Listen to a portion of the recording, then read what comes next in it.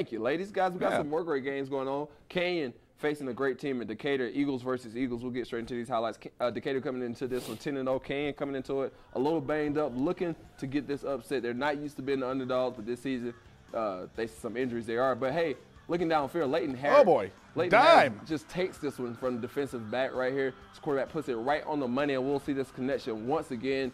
Uh, Harris just balling against these defensive backs, looking downfield into the end zone, wide open. Beautiful. Dropping it right in the bread basket right there. Guys, I don't have a shot sheet in this one.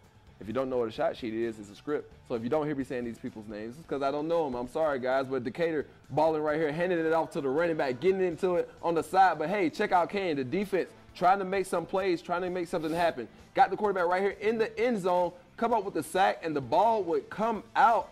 And after a while, skirming for it, they'll fight for it down in that pile. Referees will finally decide that it's a touchdown for Kane. Check out my man Bo Christie right here. Bo, I love it, baby. I love the energy, Bo. But Kane falls in this one. Final score 55 to 28. Great game. Great season, Eagles. All right, let's take a look. Dumas taking on Hirschi at Plains Capital Park. The Demons looking to continue an undefeated season. Dumas down 7 0, but Spencer Williams will change that read option, gives the Demons the tie right there. Third down, though, Dumas looking to get a big stop. Caleb Suggs makes Great the tackle. big play. And then that will lead to this play right here the muffed punt by Dumas right here. You're about to see the kick up in the air, sent. Nice punt, good Uh, air. Suggs made a great And play yep, on defense. There it is. Come on, Suggs. Gotta, finish, gotta take care of those turnovers, boys. Anyhow, Hirschi will have the ball deep into Dumas territory and on to Wildcat.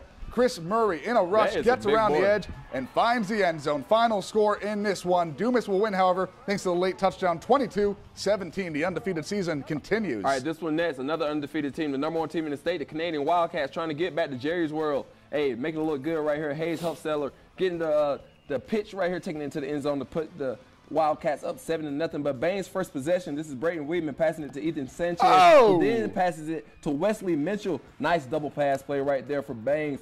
After a Bangs fumble, though, Canadian will get it again. And this is Jake Ker- Kerbal. He'll take the handoff and put it into the end zone to go up 14 0 Final score in this one, Canadian wins 66 21. All right, let's take a look now. Brownfield taking on Slaton. The Cubs and the Tigers battling it out. Which cat will be better? Here we go. First play you're going to see Malachi Garza on the scramble gets picked off in the end zone, resulting in a touchback. Now coming up later in the game, a run down the sideline, and here comes the Cubs on defense. Beautiful hit, and using that offensive momentum, Slaton will find the end zone.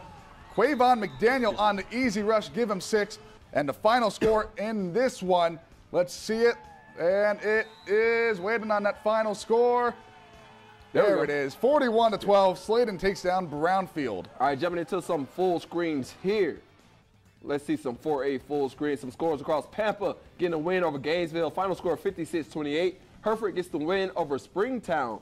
Good win for the Whitefaces, 48 to 7. So three teams still remain in that 4A district. Kane's out, but Dumas, Hereford, Pampa, they're still alive. Their season's still alive, so they're going to keep on fighting. I like the way Dumas looked. It was a struggle. Hirschi Yeah. knew that Dumas was dominant, but we talked about this. Dumas might be one of those teams that uh, sneak up on a lot of teams, but Hirschi kind of, I think they knew what to expect, and they almost had Dumas, but that's the heart of a champion right there. You win the uh, last touchdown. Absolutely. Dumas knows what to do. They know they just need to game plan well and hope teams don't find that Achilles heel that Yeah. no one's been able to find in the panhandle yet. And great wins by Pepper and Hereford, like we said. But Kane, great season to you guys. Uh, injuries happen in the game. That's a part of football. So great seasons to those Kane Eagles and, and those coaches out there. Guys, stay tuned. We'll have more highlights, more playoff highlights coming up after the break.